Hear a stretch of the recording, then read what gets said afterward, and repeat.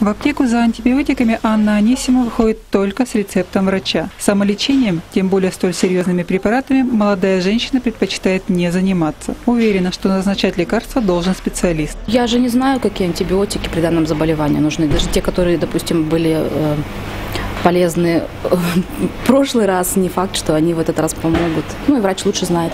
Именно поэтому новость о том, что в этом году фармацевты стали требовать рецепты при продаже антибиотиков, Анну никак не обеспокоила. А вот для многих уссурийцев известие стало полной неожиданностью. Провизоры такие изменения объясняют итогами конференции для руководителей аптечных организаций, которая прошла в Москве в декабре прошлого года. После этой э, конференции э, произошло ужесточение федеральной службы по надзору в сфере здравоохранения, контроля за отпуском э, в аптечной сети лекарственных препаратов, отпускаемых по рецепту. Росздравнадзор предупредил, что с этого года будут проводить контрольные закупки лекарств. Если обнаружится нарушение, руководители и аптеки ждут штрафные санкции. Поэтому многие стали соблюдать букву закона. Требование отпускать антибиотики только по рецептам, как и многие другие лекарства, введено еще в 2005 году. И это не прихоть чиновников. Бесконтрольный прием любых лекарств чреват непредсказуемыми последствиями. Назначая антибиотик, врач учитывает возбудитель,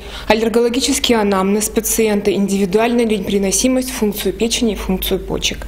При бесконтрольном приеме антибиотиков все эти факторы пациент, который занимается самолечением, не учитывает.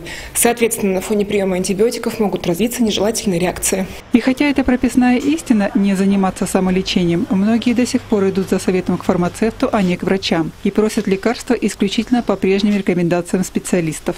Ну, я беру то, что я, э, мне раньше приписали, то я и беру. Такое не беру, что незнакомые. Аптеки потеряли часть прибыли из-за отпуска препаратов по рецептам, но возвращаться к прежней практике не планируют. Если покупатель просит продать лекарство, которое должен назначить врач, то фармацевт либо рекомендует обратиться за рецептом, либо предлагает доступную альтернативу, если она есть. Ольга Белостудова, Сергей Флоренцев, Телемикс.